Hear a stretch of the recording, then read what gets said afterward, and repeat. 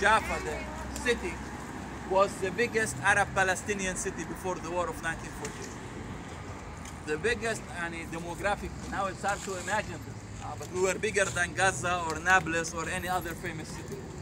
It was the most important economic center in Palestine. All this thing was transferred after the war into a small, poor, criminal neighborhood. Okay? During the tour, I want to explain this change from being the most important Arab Palestinian city to a small, poor, criminal neighborhood.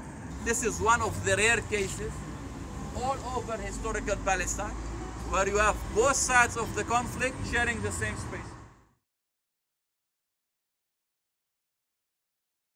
Jaffa Orange was the most famous, more famous than anything you can imagine. We were more famous than Mercedes or Nike or Dolce & Gabbana or anyone that you know. Jaffa Orange was more famous. Now, all this street that we are passing in was called Talamas Street. Talamas was a rich Catholic family.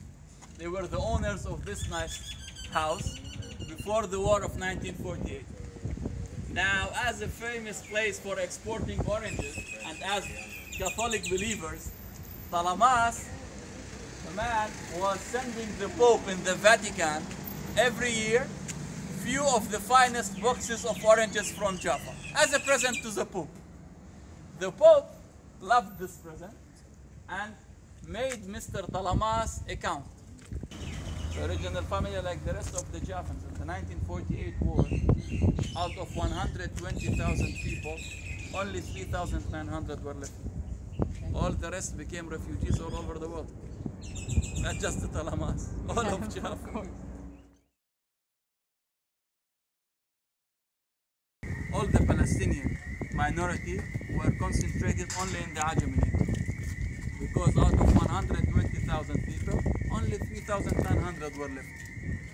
To control us better, we were surrounded with a fence and concentrated only in the Ajami neighborhood under military control. The European Jews that survived the Holocaust called our neighborhood a ghetto. We didn't know what's a ghetto before Zionism. The, we didn't know the word at all. By the way, in the official papers in Israel, 1950s, we are called Ghetto Ajam. What's important here is to try to reimagine the space when we were part of the decision making. Okay? This started in 1948, and Jaffa had one of the first municipalities in Palestine in 1870s that continued working as an independent city that has a municipality till 1948. One of the most important results of the war was this fact that we lost our independence also locally, not just on the, on the national level. And we don't have any more municipality planning for us. Till today, the state of when it gets to land and housing, they plan for us like enemies. We should be kept in smaller areas, less land, all the time. Delta Force was filmed in the Ajami neighborhood because in the 1980s, the Ajami looked like Lebanon during the Civil War. There was so much destruction in the neighborhood that it looked like Beirut during the Civil War. Now, as you can see, everything is being changing dramatically. It is one of the most wanted areas in the real estate market all over the city. The most important thing happening in the last 20 years in this part of Jaffa is called gentrification, where rich people from all over the world, mainly Jewish rich, only Jewish rich people, coming to buy in this poor neighborhood. Let's see the place. You see the view, and then I tell you how much does it cost.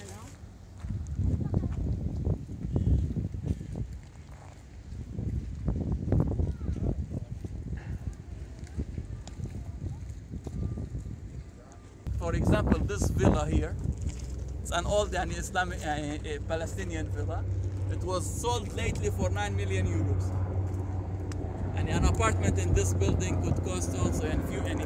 Also, the rent here is totally crazy. The, the, the Danish ambassador was living in this part of the Ajami. The embassy was paying $12,000 a month for rent in a neighborhood where 50% of the population are under the poverty line. People can't think in these numbers.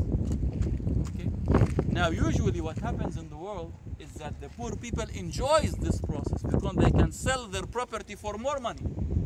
But because of all the racist Israeli laws, we cannot also enjoy that. We have in this small neighborhood 400 families that have either eviction orders or destruction orders on their houses nowadays. Okay? We have 200 families waiting on the line for, for public housing. Part of them has been on this land more than 10 years, part of them more than 15 years. And the state tells them, yes, you are right, you are under all the criteria and you deserve public housing. But we are not building public housing. In my point of view, politically, what's happening is economic transfer of the local community. And what, what was not finished in the year 1948 is now being finished with what Israel calls the free market. It's only one component of the housing issue is gentrification. We have a lot of other components, like the fact that all the area was robbed by the Zionist project in 1948. We don't have any control of land in the case of Jaffa. All the land is controlled by the state. And now the state is enjoying gentrification because they can sell our land that they never bought from us for a lot of money in the free market. So we're not controlling land. You have Tel Aviv municipality planning for us. Only Jews are planning the place. And it looks normal for everyone. The fact that all of the planning department is totally Jewish looks totally normal for everyone. See, between the year 1950 and 1993, there weren't one Arab representative in the city council. And since 1993 till today, we have one out of 31 every election. Now we have zero. Now, nowadays in Tel Aviv, there isn't one Arab man or woman in the city council. And it looks totally normal. All the new couples that cannot afford buying or renting in the place, in order to go to have a place to live, they have to live at least till the cities of Lod and Ramla. This is bringing to the destruction of the families. And in our society, the family is playing big role in the life of the individual. So the process is making total destruction to the people, to the society, to the community. Because all the Jewish areas surrounding us never built a mosque or a church or Arab schools or kindergarten. So you don't have all the basic services that you need to be developed as a community. So people then, when they leave, the society is being destroyed. And the process is being very fast.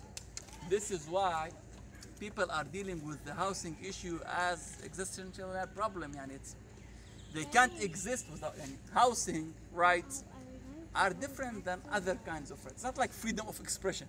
Okay, it's important freedom of expression, but if you don't have it and you are staying in your place, you can struggle for the future for freedom of expression. But if you don't have housing, you can't continue to be here at all in order to fight for the, you. You will not exist in the future. They brought part of the activists and asked us, guys, we have huge amount of money, 180 million shekels, to do a change in the mountain of garbage. What do you want to do? We told them, guys, if we are talking about 180 million shekels, leave the mountain of garbage alone. Let's solve the housing problem. And if you are asking our views, what do we want to do? We need housing because the population grew from 4,000 in 1948 to something like 20,000. Meanwhile, all the northern neighborhood were totally crushed. Manshia do not exist anymore. The old city was transferred into artists' village. We can't live there. Ajami, you destroyed something like 3,000 apartments and we are having less apartments and growing. So our main problem is housing. And if you want to give money, let's build new neighborhoods. So they told us that we are stupid and we don't understand anything in planning. We told them, you know what guys, if you don't want to solve the housing problem, let's try to do equality in education between Jaffa and Tel Aviv. It is the same city, same municipality. Let's try to do equality in education. They told us, are you stupid? The money is for the mountain of garbage. We want to build you something in the... What do you want to do? You know, you know what? If it's only for the mountain of garbage, take all the garbage out, bring back our beach. Historically, the beach in Jaffa got till here. This is where the beach was here. All what you see between this line and the water is totally garbage. They told us, no, no, guys, it's going to be too expensive. We want to do you a park on the mountain of garbage. We told them, but guys, we don't need a park. And this is huge, you know, this is from south. This is a huge park. We don't need something like this. And if all the Arabs and Jews in Jaffa want to do a barbecue, they don't need all this. It's too much. They told us, no, no, you don't understand. What kind of a park you would like to have? So the Arab activists told them, if you are imposing on us a park that we do not need, you should know that when we go to a park, we like to do barbecues. It could be nice that if you will build the barbecues built in in shaded areas with a lot of chairs because we are big families. So now if you will walk on the park, the biggest number of signs you will see that we are not allowed to do barbecues. Once I remember criticizing the whole thing. And one of the people of the municipality told me, Yani Abu Shehade, what do you want to say? This park is not nicer than the mountain of garbage. Yes, it is nicer than the mountain of garbage. But we don't need this. We have totally different needs. We have totally different interests. A park is nicer than a mountain of garbage in general. Yes, I have to admit. But we don't need this. We, still have much more basic things that we need before to get. At least to solve the problem of housing. But when they are planning in Tel Aviv municipality, they don't care about our interests or our needs. They have something totally different in their minds. They want to convince the upper middle classes to come and live here. This is what they, they are planning for someone else.